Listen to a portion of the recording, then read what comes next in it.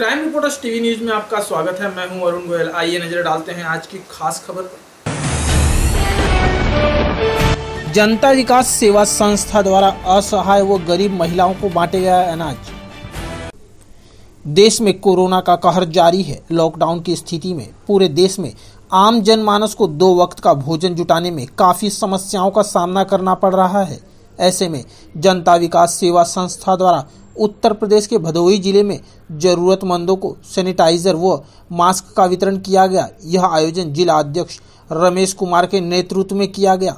वहीं संस्था द्वारा असहाय व जरूरतमंद महिलाओं को पालघर ज़िले के नाला सुपारा शहर में अन्न वितरण किया गया। यह संपूर्ण आयोजन संस्था के राष्ट्रीय अध्यक्ष राजेश मौर्य के मार्गदर्शन में संस्था पदाधिकारी संजय विश्वकर्मा, रत्ना विश्वकर्मा, तारा विश्वकर्मा माया सिंह महेंद्र विश्वकर्मा की उपस्थिति में किया गया। नाला सुपारा से क्राइम रिपोर्टर्स टीवी न्यूज़ की एक रिपोर्ट।